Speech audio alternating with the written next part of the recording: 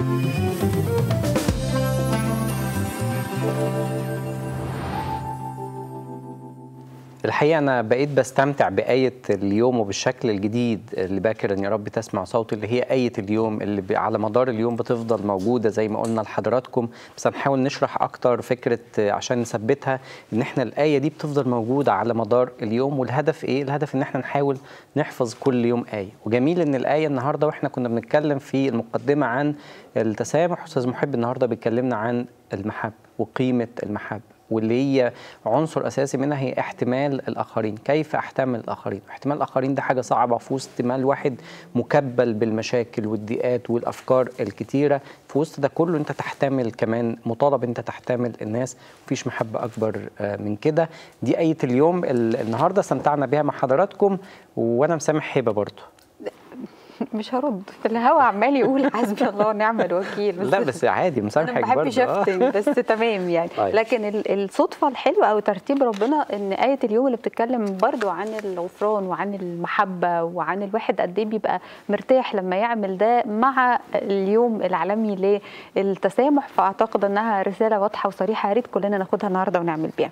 نبتدي معاكم الاخبار اتفضل. أول خبر بيقول انطلاق منتدى شباب العالم في نسخته الرابعة بشرم الشيخ 10 يناير المقبل. إن شاء الله آه، هيعود مرة تانية منتدى شباب العالم بعد انقطاع آه، سنتين. كانت آخر مرة آه، كان 19 كان في 19 من سنتين وتوقف بسبب كورونا. منتدى شباب العالم وكنت حضرته قبل كده أنا وهبة في نسخته في 2019 في شرم ال- الشيخ. قد إيه فعلا؟ يعني مهما نقول بيبقى تجمع عظيم جدا تجمع فعلا حلو. وأنتم متخيلين شباب من كل دول العالم موجود السيد رئيس الجمهورية على مدار الأيام في المنتدى. البلد كلها موجودة يعني شخصيات عالمية بتبقى موجودة. حاجة الحقيقة بتدعو للفخر إن مصر تقدر تعمل ده. إن مصر عندها أماكن جميلة جدا. وطبعا شرم الشيخ في الشتاء وجمال شرم ال- الشيخ وهي بتحتضن هذا ال- المنتدى. ده هيبقى موجود إن شاء الله في 10 يناير اللي جاي. طب أنا شاب بتفرج عليك دلوقتي وعايز أروح يا عم. أنت عمال تقول لي شرم الشيخ دي حلوة والمنتدى جميل. ما أنا كمان عايز أروح. أعمل إيه؟ آه من إمبارح يوم 15 نوفمبر لحد 15 ديسمبر تم فتح ال- الباب للتقديمات. هتدخل على موقع منتدى اكتب كده حتى بالعربي تسجيل لمنتدى شباب العالم على جوجل وهتدخل تسجل هتسجل اسمك ورقم بطاقتك وساكن فين وبتعمل إيه وسنك وعنوانك والكلام ده كله. وهم هيبعتوا لك. بس هيبعتوا لكل الناس؟ لا طبعا. عشان ما تجيش تقول لي إيه يا عم هي كوسة بقى ما بعتوليش. لا ما أنت النهارده هم عايزين مثلا آه، 10000 ب- آه، شاب هيحضروا. ال 10000 في مليون قدم فبالتأكيد مش هياخدوا ال- المليون آه، شخص. فلو أنت حابب إن أنت تكون موجود في منتدى شباب العالم في شرم الشيخ أرجوك قدم آه، من دلوقتي وادخل على موقع منتدى شباب العالم وسجل من النهارده. إن شاء الله كمان ده يكون ليه ترتيبات آه، كتيرة وترتيبات خاصة عشان الظروف بتاعه فيروس كورونا لكن المنتدى هيتعمل أو هيقام لكن بترتيبات وإجراءات احترازية آه، كتيرة جدا. طيب نخرج نشوف برضو آه، يعني فيديو بيوضح مع بيتكلم عن منتدى شباب العالم ونرجع تاني.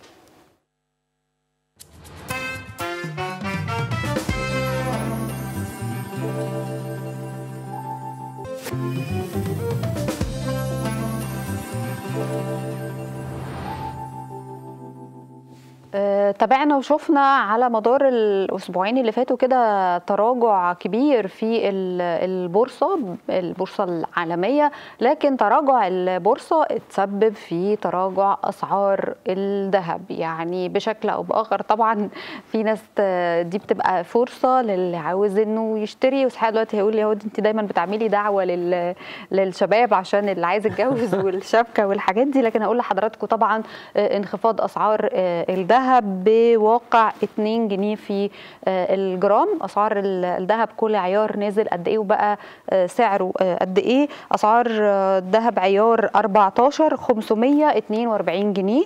عيار 18 696 جنيه عيار 21 813 عيار 24 929 والجنيه الذهب وزن 8 جرام 6554 هو أنا عندي سؤال هو ليه عيار 14 و24 ده يعني بحس إن هو مش. يعني مش. مش متعارف عليهم يعني 14 لأنه الناس بتشوف إن طب ما أنا هحط فلوسي احطها في حاجة نسبة الذهب فيها هي بتبقى أعلى من باقي المعادن أو من النحاس اللي موجود فما بيعتبروهاش شبكة قوي. لكن طبعا اللي إمكانياتي مش سامحة إن أنا أعلى وأوصل لغاية 18 و21 فبلجأ ل 14 وفي الآخر ذهب.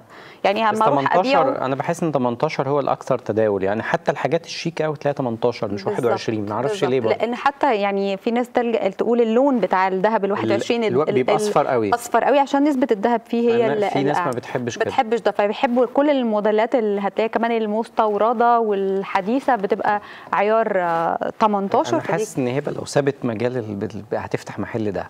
آه. أنا متأكد يعني. أيوه بالظبط. بس هيبيعه كله 18 الله يسهل لك ماشي نشوف دل... نشوف دلوقتي آه الأرصاد آه آه حالة الجو والأرصاد وأخبار الجو. إيه إحنا عارفين طبعا في تغيرات كتيرة في الجو الفترة اللي فاتت والفترة اللي جاية طبعا هيبقى في تغيرات كتيرة جدا وهيسود طقس معتدل على القاهرة الكبرى والوجه البحري والسواحل الشمالية وجنوب سيناء وشمال الصعيد ومائل للحرارة على جنوب الصعيد. نهارا لطيف في أول الليل مائل للبرودة في آخره على كافة الأنحاء. درجة الحرارة زي ما هي قدامنا على الشاشة القاهرة 26 18 اسكندرية 25 19 أما مرسى مطروح 24 18 شرم الشيخ 27 20 بورسعيد 25 19 المنيا 27 16 أما أسوان ف 29 20 أعتقد يعني إن شاء الله كمان أنا بأمل إن يكون في ترتيبات للفترة اللي جاية أو لدخله الشتاء عشان الأمطار. مش بس في المحافظات الساحلية لكن هي دي بتبقى الاكثر عرضة للأمطار. لكن عشان ما تحصلش مشاكل وحوادث ونفضل بقى ندور يعني نصلح الأضرار اللي بتحصل دي إزاي. لكن إحنا المفروض بنستعد لده من شهور. لكن حتى لو ما كناش عملنا ده أو لسه ناقصنا حاجة نقدر دلوقتي نلحق نفسنا قبل فترات سقوط الأمطار. نشوف بقى الحالة المرورية والشوارع والازدحام المروري ولو في تغيرات في المسارات أو طرق بديلة هي إيه؟ معانا دلوقتي على التليفون زميلنا أستاذ محمد صابر محرر شؤون المرور بالإذاعة المصرية. يا أستاذ محمد صباح الفل. صباح الفل يا أستاذ هبه صباح الفل يا أستاذ إسحاق. صباح الفل عليك. صباح الفل على حضرتك. وقول لنا بقى النهارده إيه الأخبار؟ إحنا في نص الأسبوع أهو. طيب بالفعل طبعا زي ما أنتم دايما بتنوهوا النهارده الثلاث ده متوسط الأسبوع تحديدا وذروة الأسبوع تحديدا. ويمكن طبعا في البداية زي ما إحنا حضراتكم نوهتوا إن في تقلبات في الأحوال الجوية. حابين برضو نوجه عنايه السادة المشاهدين عن الارشادات التي وجهتها الإدارة العامة للمرور في حالة وجود التقلبات الجوية والقياده الامنه أثناء عدم استقرار الأحوال الجوية للحد من الحوادث والحفاظ على أرواح السادة المواطنين على الطرق. شملت هذه الارشادات هي السير بسرعة تتناسب مع مسافة الرؤية عدم التوقف في مناطق الشبورة في حالة وجود الشبورة المائية. آه كذلك أيضا استعمال الأضواء الغير مبهرة مع تهوية جيده داخل السيارة مع استخدام الأنوار الانتظار لتكون مرئية للغير مع مضاعفة مسافة الأمان في حالة وجود أعطال بيرضى الاتصال على خط الإغاثة 012 2 3 وحايد 4 أصفار 012 2 3 وحايد 4 أصفار. في حالة وجود أي أعطال من آه على الطريق بيرضى من السادة المواطنين التزام بأقصى اليمين ووضع المثلث التحذيري والاتصال بهذا الرقم بيتم آه دفع السيارات الانتشار السريع تابعه للاداره العامة للمرور على كافة الطرق لإزالة هذه الأسباب أسباب الأعطال وتسيير الحركة المريه. معدلات السير النهارده بصفة عامة بتتجاوز ما بين 60 ل 65% وما زالت حتى الآن محافظات الوجه البحري والإبلي والمحافظات الساحلية ما زالت حتى عندنا الآن هدوء مروري نسبي، أما بالنسبة لقطاعات الطرق الدائرية المؤدية المداخل ومخارج القاهرة الكبرى ما زالت حتى الآن محاورها بتعمل بشكل مرضي وشكل طبيعي عدا مناطق الأعمال اللي إحنا عارفينها جميعا مع نتيجة إن عندنا أعمال توسعة على عدد من قطاعات الطرق الدائرية وبتشمل هذه الأماكن هي أعلى مناطق الكنيسة والمنيب وكذلك أعلى مناطق البساتين وأعلى مناطق الخصوص. محور 26 يوليو الأحجام بتنحصر فيه النهارده عند منطقة ناهيه اللي جاية من أكتوبر والشيخ زايد ونازل على ميدان لبنان في هذا التوقيت محور رود الفرج أفضل حالا من محافظة الجيزة النهارده. الأحجام بتنحصر فيها وخاصة في شارع السودان أمام محطة مترو الجامعة اللي نازل من كوبري فيصل ومتجه لمناطق الدقي ممكن نسلك النهارده شارع مراد أو شارع الجامعة. كذلك النهارده بعض الشيء في مطلع كوبري الجيزة المعدني وده نتيجة زيادة تدفق أحجام الحركة المرورية اللي جاي من شارع فيصل وجاي من شارع الهرم وبياخدوا مناطق أعلى كوبري الجيزة متجهين من بني الجيزه ومنه إلى مناطق القاهرة. آه بالنسبة لمحافظة القاهرة الأحجام النهارده ما زالت حتى الآن متوسطة أعلى كورنيش النيل عند منطقة أثر النبي اللي جاي من المعادي وحلوان رايح لمناطق الملك الصالح ووسط المدينة. عشان كده محور الاوتوستراد افضل حالا. كذلك بعض الشيء أعلى كوبري المطرية اللي جاي من محور الفريق العصار وجاي من الكابلات ومتجه لمناطق التجنيد ومصر الجديدة. بيفضل سلوك كوبري سرايا القبة بيعمل بشكل مرضي وشكل طبيعي مطلع كوبري السيدة عائشه اللي جاي من القلعة ومتجه لمناطق مجرى العيون بعض الشيء نتيجة ان كان عندنا مصادمة في دوران حديقة لازر في محور صلاح سالم وتم الانتهاء منها من قبل الإدارة العامة لمرور القاهرة باقي الكباري اللي بتنقل الحركة المريه ما بين القاهرة والجيزة جميعها النهارده متوسطة ما بينصحش بتغيير أي مسارات سوى الأماكن اللي إحنا ذكرناها للسادة المشاهدين الكرام. اشكرك شكرا جزيلا زميلنا أستاذ محمد صابر محرر الشؤون المرورية بالإذاعة المصرية على النشرة الوافيه للمرور. كمان وزارة التموين بتقول لنا زيادة المخزون الاستراتيجي من الدقيق في المحافظات الساحلية وبتأكد وزارة التموين على أن المخزون الاستراتيجي للسلع الأساسية هو كافي لفترة ستة أشهر ويمكن الرئيس السيسي كان أكد على الموضوع ده لأكثر من مرة أن إحنا الحد الأدنى لأي مخزون استراتيجي من السلع الأساسية ما يقلش عن ست شهور لأن إحنا كنا بنوصل في مراحل لثلاث شهور وأحيانا في الأيام اللي كانت صعبة جدا بعد 2011 كنا بنوصل يمكن لأقل من كده وكانت بتبقى صعبة جدا لأن أنت لما المخزون عندك بيقل بتضطر الأسعار تزيد جدا بيبقى في حالة من عدم الطمأنينة بيبقى في جشع تجار عايز يخزن السلعه لأن هو عارف إن هي ناقصة في السوق وبيبقى في زي ما حصل قبل كده مع السكر وكان بيحصل مع السلع الاستراتيجية بشكل كبير جدا.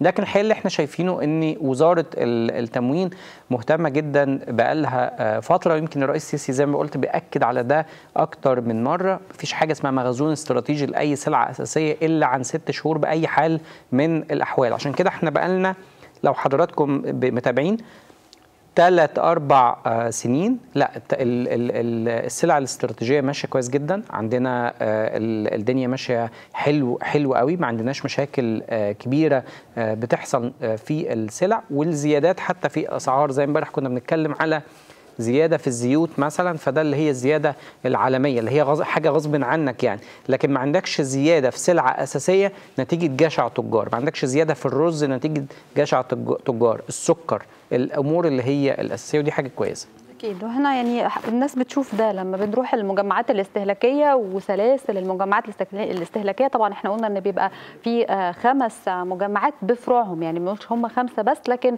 السلاسل دي بالفروع موجودة في كل محافظات الجمهورية اللي بيروح. أعتقد إن حتى السلع اللي كنا بنلجأ نشتريها من المحلات اللي بره المجمعات دي دلوقتي بقت موجودة وبقت متوفرة.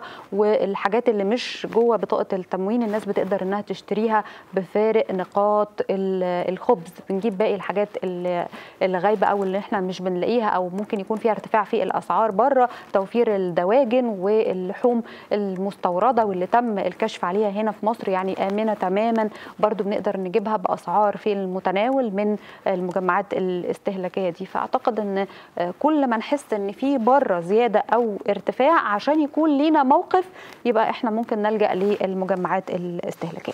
هنروح لخبر تاني خاص بصندوق مكافحة الإدمان. والحقيقة كتير قوي بنقول إن مش عايزين نستنى المشكلة تحصل الكارثة تحصل وبعدين ندور نحلها إزاي. ونشوف إن لازم الشاب أو ال ال الشخص اللي وقع في آه، براثن الإدمان يكون هو اللي عنده الرغبة إنه يتعالج. مش لازم الأب والأم أو الأسرة المسؤولين عنه هم اللي يزقوه هم اللي ياخدوه يودوه بالعافية. أعتقد دلوقتي معظم مراكز علاج الإدمان ما بتفضلش ده لكن آه، بتطلب إن يكون في رغبة حقيقية من الشباب. وده بيخلي إن في ناس من المتخصصين بيروحوا يزوروا الشاب ده مرة واثنين وثلاثه ويتكلموا معاه لغاية لما يقنعوه بفكرة العلاج أو التعافي وهو من نفسه ياخد القرار ومجرد إنه وصل للمصحه بتاعة العلاج من هنا بيبدأ دورهم الفعلي في العلاج. لكن ليه بقول إن لازم ناخد خطوة استباقية؟ بإن إحنا نوعي ال- الشباب بخطورة الإدمان بأصدقاء السوء بكل الحاجات اللي بتوقع الشباب. وهي وهو ده اللي عمله صندوق مكافحة الإدمان تنفيذ برنامج لتوعية طلاب المدارس بأضرار تعاطي المخدرات المبادرة اسمها برنامج اختار آه، حياتك.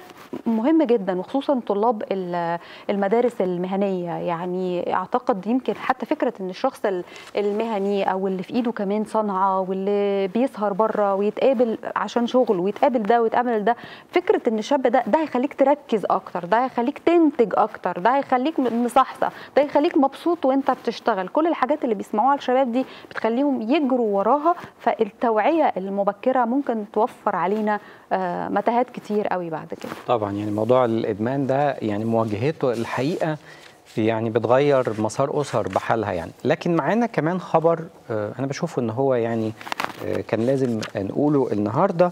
المؤبد لداعية هتك عرض طفلة في طلخة بمحافظة الاهليه واللي حصل إني يعني محفظ للقرآن شيخ جامع يعني أو داعية زي ما بيتسمى بي آه، بيدي دروس للأطفال. طفلة عشر سنين اسمها آه، جنة آه، يعني بتتعلم عنده آه، يعني تحفيظ ال- القرآن يعني من أسرة ملتزمة وأسرة آه، محترمة وعايزين يعلموا أولادهم ويقربوهم آه، يعني آه، يعني للدين ويحفظوهم ال- ال- الدين. آه، فاجئت أم البنت آه، أم جنة آه، إن بنتها في حالة آه، مرضية وعندها مشكلة والبنت بتعيط وكده. ف كأم يعني شافت بنتها وكشفت على بنتها بالشكل ال- النظري كده لقيت إن البنت في حاجة غلط. مالك إيه اللي حصل؟ قالت لها ده فلان.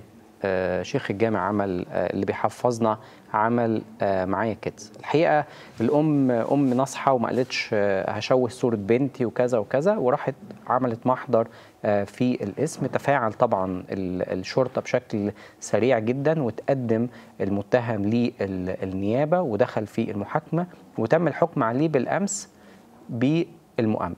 تم الحكم عليه بالمؤبد. أول طبعا ما سمع الحكم يا عيني عشان مشاعره رقيقة أغمى عليه. هقول لك أول ما سمع الحكم مشاعره رقيقة أغمى عليه. وأنا في وجهة نظري وفي وجهة كتير جدا من المصريين إن مؤبد قليل على ده. لأن هو ما تقدرش تقول عليه إن هو بني آدم أو إنسان. يعني إيه طفل عشر سنين؟ يعني إيه طفلة عشر سنين وأنت شحط ومستأمنينك على عيالهم إن أنت بتعلمهم كلام عن ربنا يا أخي؟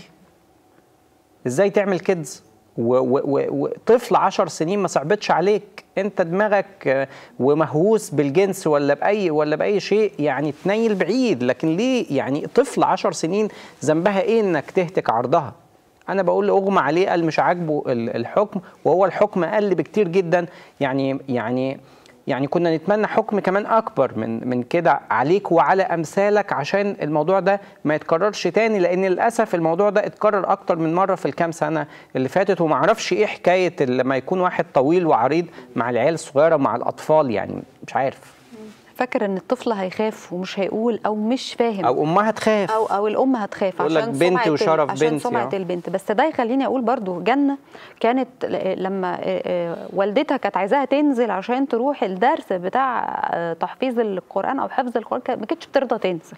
يعني قبل موضوع إنها تشوفها فيها حاجة غلط ولا البنت كانت رافضة النزول. ودي النهارده رسالة أنا بقولها لحضراتكم النهارده ما تضغطوش على أولادكم وأنتم مش فاهمين سبب الرفض إيه. جايز بتحصل حاجة مع الولد أو البنت وما قالوهاش مش عارفين يعبروا عنها أو خايفين أو مش فاهمين ده إيه. فالرفض بتاعهم أو التعبير بيجي في صورة لا أنا مش هنزل لا مش هروح أنا ما بحبش عمو فلان أنا بخاف منه. الكلام ده انتبهوا للتصرفات البسيطة اللي ممكن تصدر من أولادكم. ما تحطوش ثقتكم في أي حد في أي مخلوق. ده مش معناه إننا نبقى مهووسين أو ما عندناش ثقة في الناس ونبقى ناس مهزوزة ومنعزلة ابدا.